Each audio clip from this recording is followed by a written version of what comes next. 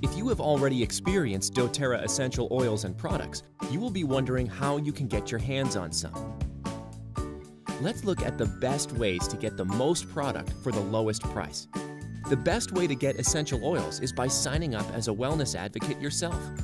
When you sign up as a wellness advocate, after paying a small initial fee, you'll be able to purchase your oils at wholesale prices.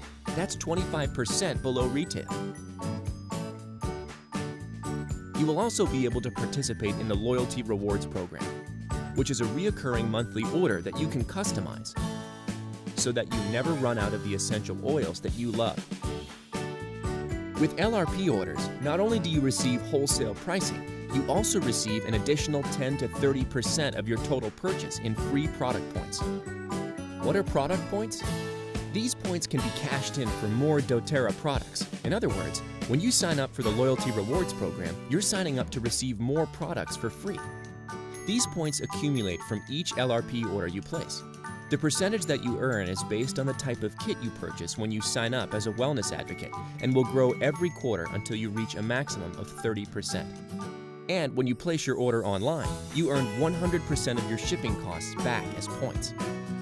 Now, if you still want to qualify for more free product, you can participate in our Product of the Month Club each product has been assigned a value of personal volume.